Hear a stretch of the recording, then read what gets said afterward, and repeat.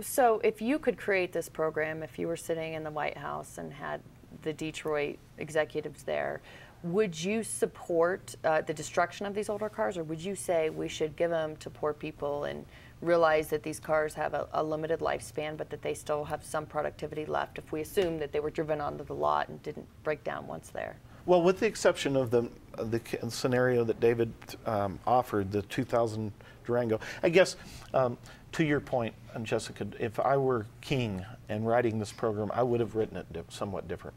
And I would have probably excluded the, the 10 year car or newer. And, and I don't know why to have the, the, uh, the 80, 84 requirement, 1984 requirement on the end. So I would say anything over 10 years.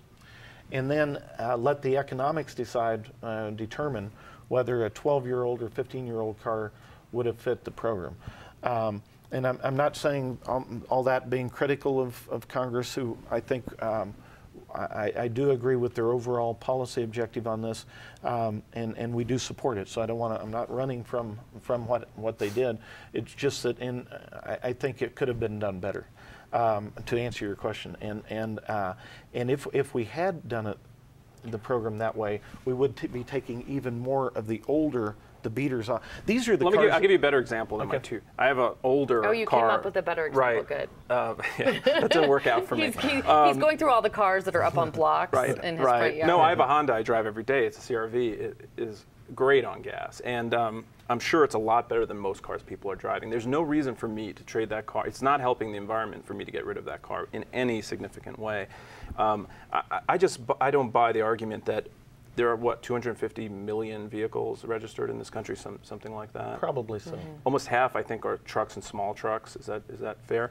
This will have almost no effect on the environment overall. It's hard for me to believe that a few hundred cars can move the needle in Denver. Um, but even if that's so, those are cars that are being sold every day anyway. I mean, those are the new cars. We have CAFE standards. Cars are just much more efficient than they were before. Even oh, without absolutely. Any kind of no, and like it's this. not the new cars. The, the, I mean, really, to, to resolve the particle emission problem and the ozone problem and the asthma problem and the brown cloud problem, it's the old cars. You recognize those cars. You, you know them when you see them. You pull up behind them. The light's red. The light turns green and you stay back for that car to get out of the way. Those are the cars that but those really need to be off the road. But those aren't the cars that are being traded in right now. Well, the they should be.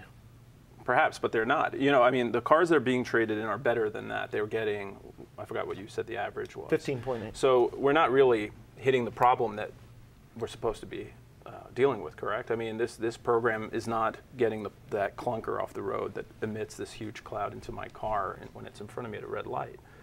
Well, well we are. I mean, uh, but maybe, maybe not um, totally, um, but, but those cars qualify as well as long as they're post 84.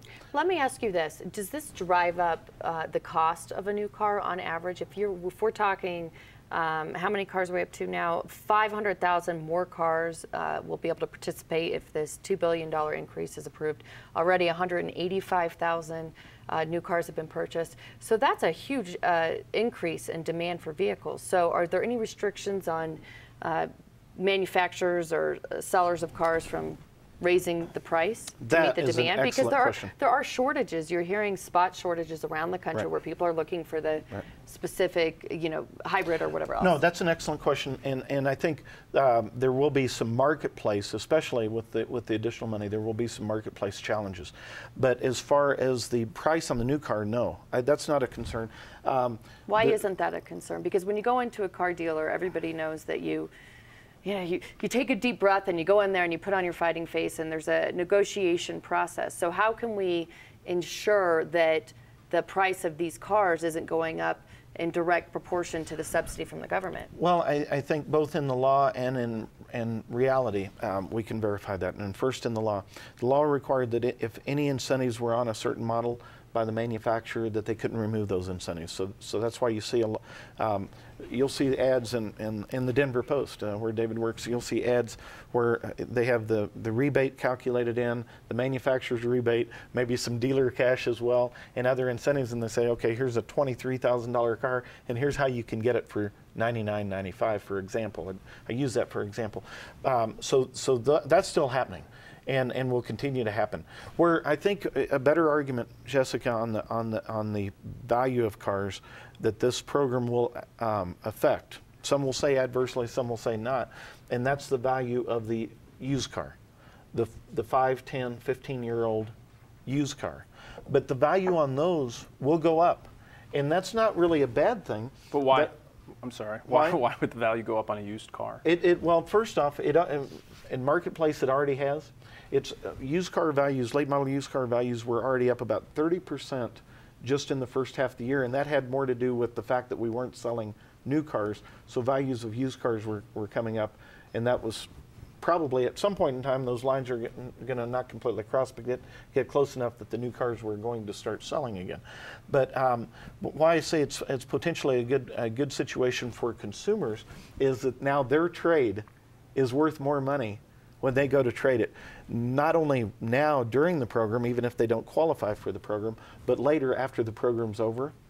For used car dealers who are not able to participate because they don't sell the new cars, for used car dealers, the entire value of their used car lot is is up, and and uh, um, that that's a marketplace situation. It was already moving that, in that direction. This this will um, fuel it to a degree. Do you think we'll see um, any sort of subsidy program for late model used cars? Because if we have a 2005 hybrid, um, isn't that car a valuable part, or is this uh, part of our environmental strategy, or is this more about just helping Detroit manufacture more new cars?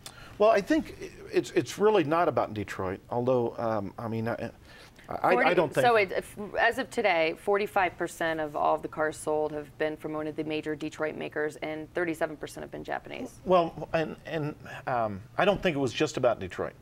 If it had been just about Detroit, it would have been uh, applicable just to um, domestic cars, just to GM, Ford, and Chrysler cars. So um, that was debated by some in, in Congress. It didn't get very far. It wasn't something that we could have supported. Uh, because we represent all the all the dealers, uh, um, both domestic and, and international nameplate. So um, I don't think it's just about Detroit. I think what it's about is the industry in general. It's a uh, the auto industry makes up 10% of the overall uh, uh, economy. It's an important sector in the economy. Certainly, it's an important sector for Michigan and, and, and the heavy manufacturing states uh, the, the high volume manufacturing states. But it's an important manufa- I mean, an important sector in our economy. I have a superb idea, actually. We've got about one more minute here. I so think that we should have word. a bailout for newspapers where it, once a year, uh, every subscriber is allowed to allocate whatever amount of tax dollars the government feels like, and that should boost our industry. I think it would be con- contrived market and not real in the sense that I would be You taking need tax. better lobbyists. That's what you need. That's You true. need Tim to come over and lobby for the Denver Post. Taking money from one person and just handing it to another is not uh, an increase in demand, and that's why I don't think in the long run um, it's going to it, it'll make a huge difference. I hope you know in a sense I hope it does. If we're going to do the program, might as well work. But um, th- that that's the main concern I have with it because if this economic theory works, then we should apply it to e- every single area that's struggling, not just cars. Real quick, what's your prediction? Where are we going to be sitting a year from now in terms of demand for new and used cars? Well, I think that will overall uh, um, that will be determined more by the overall economy. It, there are other signs that the economy is coming back and uh, and starting to come back, and I think this is helping fuel that. Uh, so so and to that degree, it's it's great. I, I think for um, the the newspapers will do better because of this program. Because That's true. We have a lot more ads because uh, of the advertisements, the electronic media, the newspapers, the internet, and, and therein lies the stimulus effect for it. So it's going to help.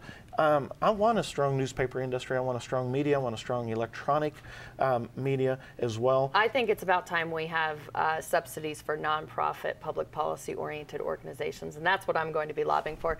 Fortunately, we've ran out of time here, but David Harsanyi, and so much thanks to you too, Mr. Jackson.